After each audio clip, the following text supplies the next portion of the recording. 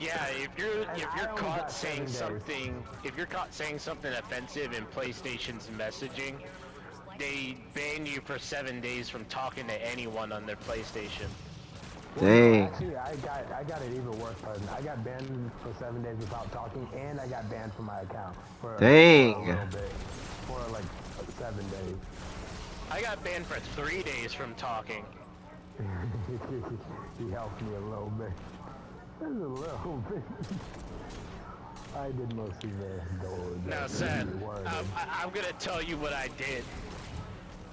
So what I did was I sent King Von's dead body to this guy I was talking to, and I said, "This will be you in 24 hours."